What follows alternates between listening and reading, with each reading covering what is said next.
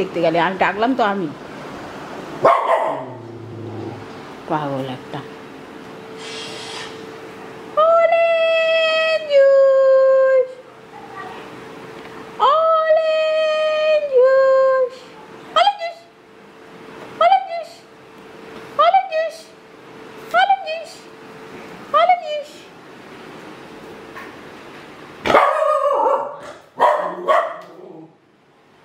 Good morning আর দেখো, আজকে সকালবেলা মাসি যেগুলো কাটবে, রান্নার জোগাড়ের সমস্ত জিনিস রেডি করে রেখেছি যাতে আসার সঙ্গে সঙ্গে হাতের কাছে দিতে পারি।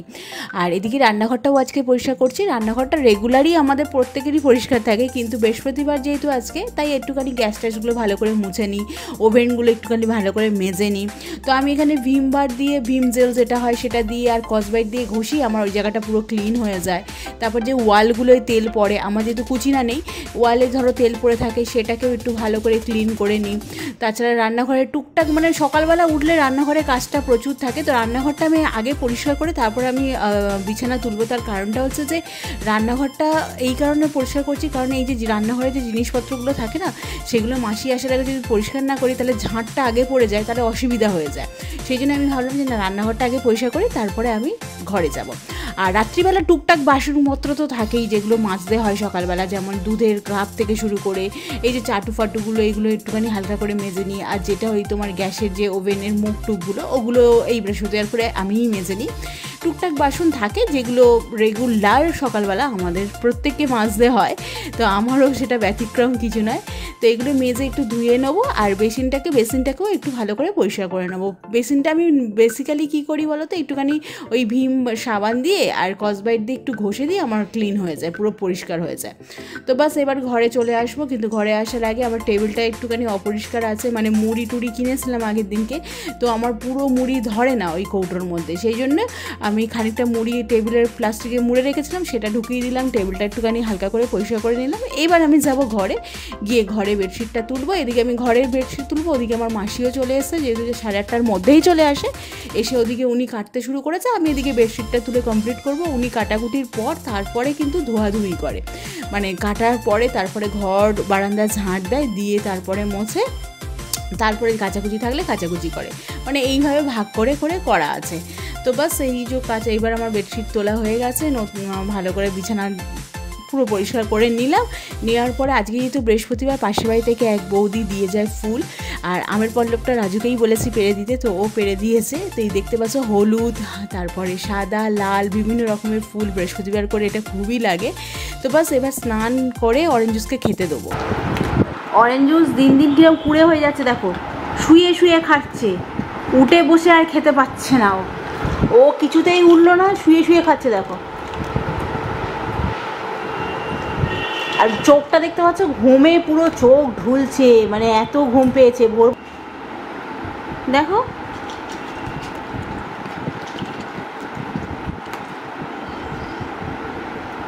গুড মর্নিং সুপ্রভাত। আজ হলো বৃহস্পতিবার, এখন টাইম হয়েছে ঠিক দশটা, আর এখন সকালবেলা ব্রেকফাস্ট বানাতে চলে এসেছি। তো আজকে যেটা বানাবো সেটা হচ্ছে ডিম টোস্ট। ভেবেছিলাম চাউমিন বানাবো, কিন্তু বিন মানে বরবটি আর বিন করাই নট অ্যাভেলেবেল এই সবে মাত্র আমার পাউরুটি নেওয়া হয়েও গেছে, এবার সবজি এসছে। সবজি আসার সঙ্গে সঙ্গেই কুমড়ো নিতে বলেছিলাম। আজকে কাটাকুটিরও একটু অসুবিধা হয়ে গেছে, কারণ আমি ভেবেছিলাম সকালবেলা সবজি আসবে, তারপরে সবজিটা নিয়ে কাটাকুটি করতে দেবো। তো যাই হোক, রাজু এই সবে মাত্র কুমড়ো নিয়ে আসলো। কুমড়োটা কাটবো, কাটা হবে একটু পরে কাটবো বা সন্ধ্যাবেলা কাটবো। কারণ আলু, কুমড়ো, পটল দিয়ে একটা তরকারি হবে, সেটা রাত্রিবেলা রুটি দিয়ে।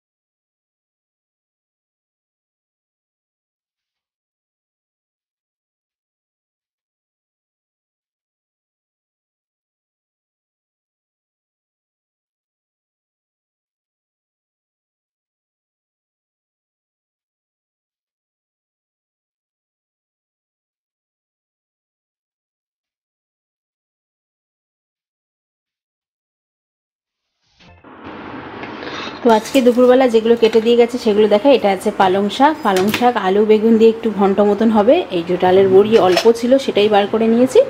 তো এটাকে আমি ধুয়ে একদম পরিষ্কার করে রেখেছি। আর এদিকে আছে আলু, পটল, যেটা আমি কাটতে বারণই করেছিলাম, কারণ আমার কাছে তখন কুমড়ো ছিল না। কুমড়ো দিয়ে, আলু, পটল দিয়ে তরকারি হবে রাত্রিবেলা, রুটি দিয়ে খাওয়া হবে। আর এই যে আটা মেখে দিয়ে গেছে, আর এই যে পেঁয়াজ কেটে দিয়ে গেছে। তো বাস, আজকে দুপুরবেলা এই হবে। হ্যাঁ এর মধ্যে দিকে আমি আরও দুটো পটল নিয়ে আর আমি মাছের ঝোল করে নেব। তো কি মাছ আছে সেটাও দেখিয়ে দিই।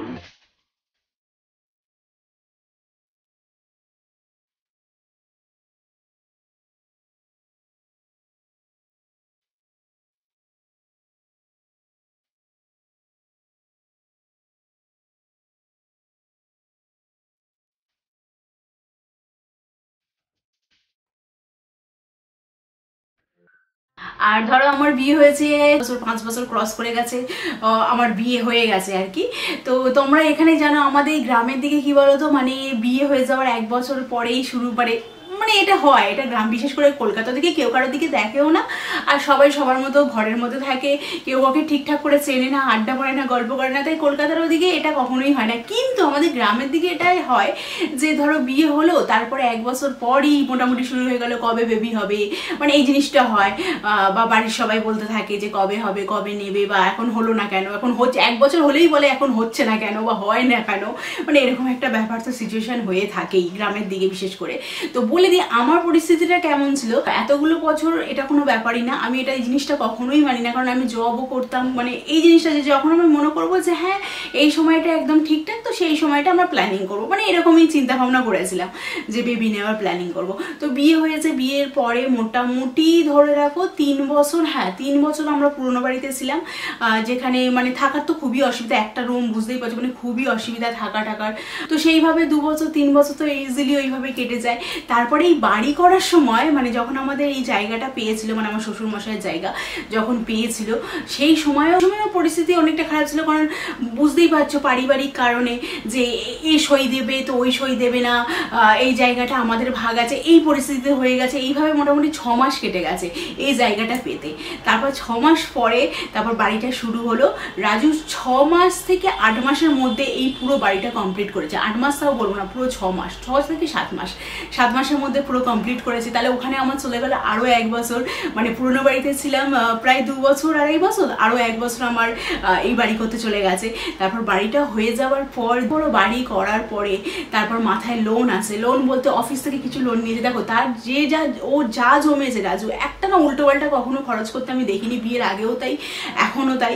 উল্টো পাল্টা কোনো দিন যে অনেক ছেলেরা আছে, তাদের শখ আহ্লাদ পূরণ করে, ও কিন্তু করে না। মানে ওর কোনো রকমই সেভাবে শখ, আহ্লাদ কিছুই নেই। তো যা টাকা জমিয়েছে, ও কারোর থেকে একটা টাকা সাহায্য নেয়নি। মানে আমার বাপের বাড়ি থেকেও না, আমার শ্বশুর বাড়ি থেকেও না। কারোর থেকে দু টাকা পর্যন্ত সাহায্য না নিয়ে এই বাড়িটা করেছে। আর এত বড় বাড়ি করতে খরচ তো আছে, তোমরা বুঝতেই পারছ।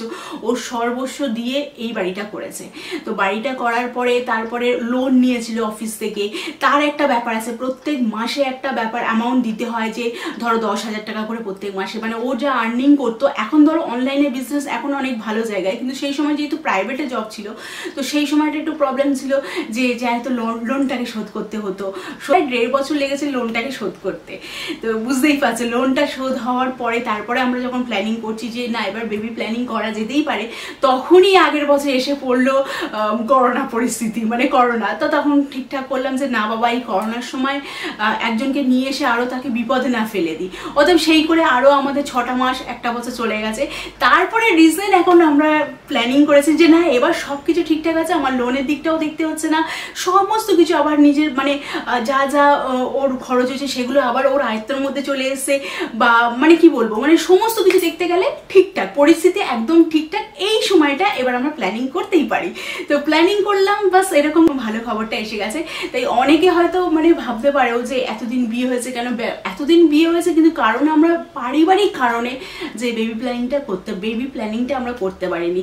এক ঘর, এই ঘরের জন্য হলো না। তারপরে নতুন ঘর করার পরে সেই যা- মানে সামাল দিতে মানে ওকে রাজুকে সামাল দিতে আরও দুটো বছর লেগে গেল। তো এই জন্য এটা সামলে নিয়ে যে হ্যাঁ আমরা তাকে দেখতে পারব, আমরা তাকে ভালোভাবে মানুষ করতে পারব, তখন সেই প্ল্যানিংটা করা উচিত। এটা আমাদের প্রত্যেকেরই তাই।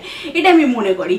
তো বাস, এটা তোমাদের সাথে শেয়ার করা ছিল, কিন্তু তোমরা বুঝতেই পারো, কটু কথা তো শুনতে হয়। তোমাদের সাথে শেয়ার করা ছিল, তাই এবার শেয়ার শেয়ার করে দিলাম। এই পালং শাক বিভিন্ন জন বিভিন্ন রকম ভাবে করে। আমি কীরকম ভাবে করি? আমি নর্মালি একদম পাঁচ ফোড়ন ফোড়ন দিয়ে করে নিই।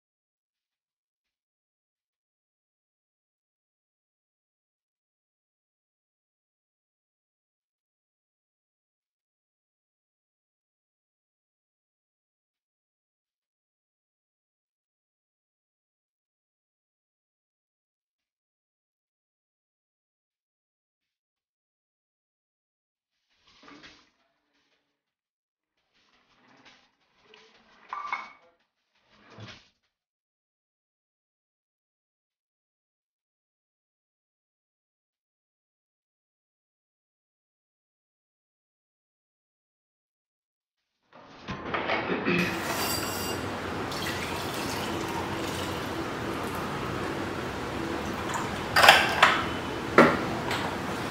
এবার এই যত বেশি গরম পড়ছে মানে গরমের সময় যেহেতু এত বেশি ঘাম হয়, তো পেট তো সেইভাবে আমাদের ঠান্ডা করা হয় না সেই জন্য আমি কি করি বারে বারে মানে চেষ্টা করি আর কি। অন্তত সারাদিনে একবার যদি হয়, এই যে চিনি, বাতাসা থাকলেও হয়, আমি চিনি দিয়ে দিচ্ছি। চিনি আর একটু নুন দিয়ে এটাকে একটু শরবত বানিয়ে যদি বারে বারে খাওয়া যায়, খুব যখন গরম পড়ে। মানে অন্তত দুবার যদি খাওয়া যায়, সারাদিনে ভীষণ ভালো। আর এটা কিন্তু শিখেছি আমার শাশুড়িমার কাছ থেকে।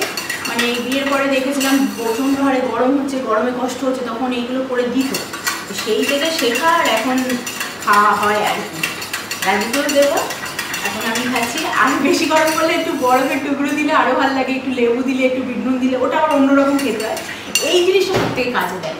একটু চিনি, এক চামচ চিনি, আর তাতে হলে এক চিমটে নুন। মানে পুরো একদম শরীরের যে ঘামটা বেরোচ্ছে সেটার জন্য।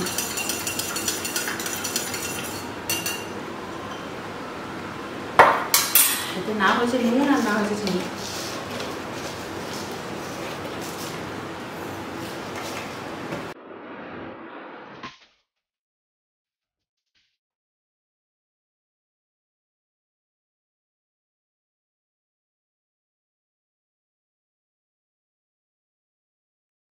দুপুরের রান্না আমার তৈরি হয়ে গেছে। এটা মাছের ঝোলটা, এটা আছে ওই বাড়ি থেকে পাঠালো আম ঝোল। টক টক খেতে হয়, খুব ভালো খেতে হয়। এটা আমার শাশুড়িমা আমি ভালোবাসি করে, ভালোবাসি বলে করে পাঠিয়ে দিয়েছি। আর এটা আছে শাকটা। তো একটু ঝোল নিয়ে নেব।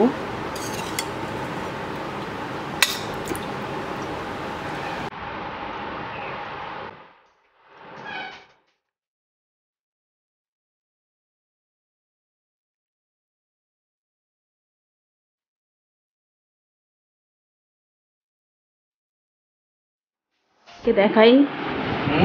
নন্তে ওই দেখো রাজুর পৈতেটা নিয়ে ওই যে সেই বাচ্চাদের মতো এখনও পর্যন্ত করে যাচ্ছে।